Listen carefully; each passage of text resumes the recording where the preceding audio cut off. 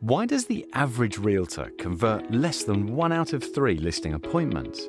They fail to differentiate themselves from their competition.